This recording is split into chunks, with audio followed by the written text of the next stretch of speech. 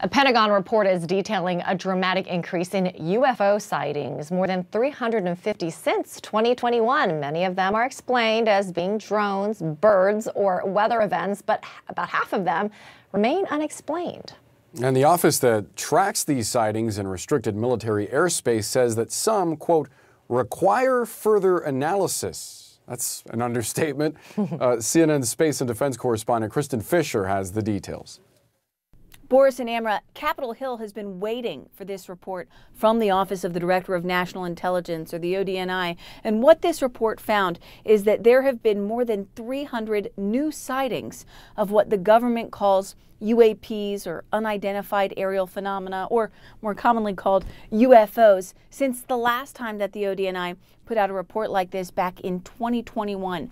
Back then, the ODNI could not explain 144 sightings of UAPs. This time, now they can't explain 171 of them. And one part of the report that really stands out is this one. It says that some of these uncharacterized UAPs appear to have demonstrated unusual flight characteristics or performance capabilities and require further analysis. So is it advanced U.S. technology? Is it advanced technology from uh, a foreign adversary like perhaps China or Russia? Or is it uh, extraterrestrial in origin or something else entirely? We just don't know. And the U.S. government uh, says that it doesn't know either, or at least it will not say so uh, publicly in this unclassified report. Uh, but they did give some explanations for about 163 of the sightings that have been detailed in this report. And here's how they explain those. The vast majority are either balloons or balloon entities.